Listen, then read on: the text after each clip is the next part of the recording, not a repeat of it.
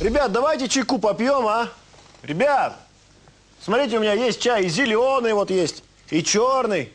Ну куда пошли, ребят? Давайте вместе сядемся по-человечески, а? Ребят! Да что ж такое-то, а? Че, нельзя чай вместе попить, что ли? Иди сюда. Вот ты, куда пошел? Иди сюда. Иди сюда. Чай-нибудь попей. Не попей. Чай-нибудь попей. Все, все, все, все, все, все, все. О, все, забыли все. Все, все, успокоились, все, успокоились. Может, чайку попьем?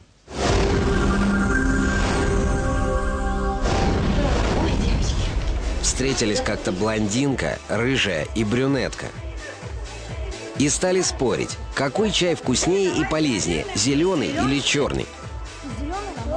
Блондинка говорит, зеленый чай продлевает жизнь. Брюнетка ей в ответ, а черный стресс снимает, значит тоже сохраняет молодость. А рыжая говорит, что разницы нет, никакой. Что черный, что зеленый, все на одном кусте растет.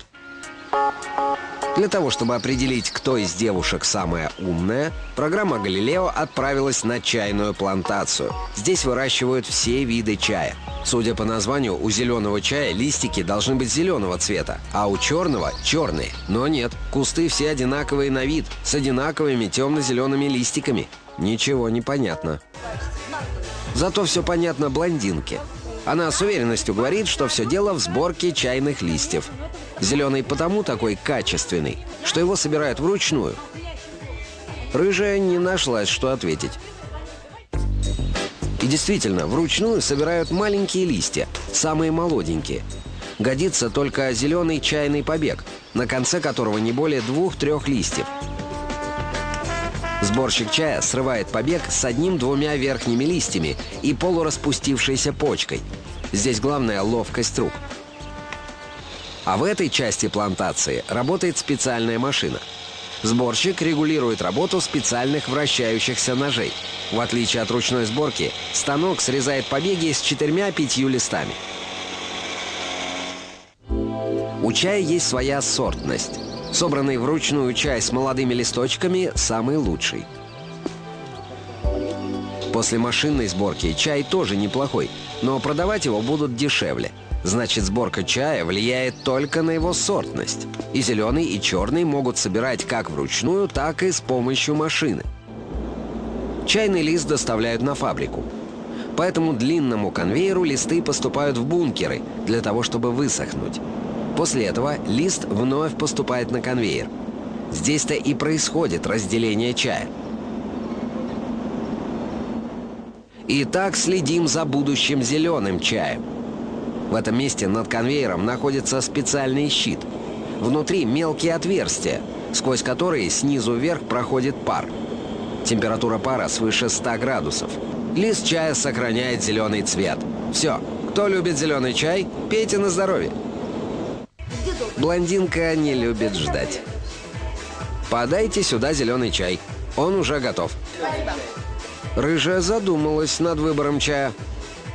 А брюнетка готова подождать черный чай. Итак, листья для черного чая попадают в завялочную печь. За 25 минут, которые чай проводит внутри, из листа удалится 55% влаги. Зеленый и черный чай изготавливается на фабрике из одного и того же чайного листа. Вся разница лишь только в том, что зеленый чай обрабатывается паром, проходит так называемую фиксацию, а черный чай этой стадии не проходит. Дальше зеленый и черный чай, правда уже разделенные, проходят окончательную стадию обработки. Открыв пачку чая, мы видим небольшие продолговатые сухие полоски. Такой внешний вид листьям придает эта машина. Она называется роллер. Через роллер проходит как черный чай, так и зеленый. Этот аппарат скручивает листья и разрушает клетки листа. Каждый листочек должен отдать максимум сока и запаха и при этом остаться целым. Весь процесс занимает ровно 2 часа. Теперь чай попадает в цех ферментации. Это стеллажи. На них с конвейера поступают чайные листья. Входящий в состав чайного листа танин в процессе ферментации окисляется. Чем больше окислился танин, тем будет более яркий цвет настоя. Осталось подсушить листья.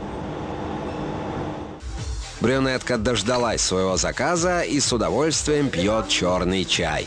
Блондинка, сравнивая чаинки, начинает сомневаться. А вдруг все-таки обманули? Почему один чай с крупными листами, а другой с мелкими? А эта машина сортирует готовые листья чая на мелкие и крупные и потакает нашим вкусом. Как кому нравится. Главное, чтобы чай был вкусным. Это определяет специальный чайный дегустатор. Не понравилось – вся партия бракуется. Понравилось – в магазин, на прилавок. Блондинке понравился зеленый чай, брюнетке – черный. А рыжая не смогла сделать выбор и заказала кофе, арабику.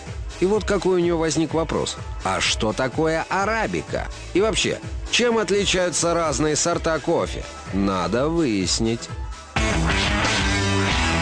Слушайте, ребят, я, по-моему, просил пять раз мне зеленый чай не заваривать. Что ж, какая разница? Ты что, не понимаешь разницу между черным чаем и зеленым, что ли? Идите. Ну-ка, что, что ты сказал? Что ты сказал? Ну-ка, иди сюда. Иди сюда.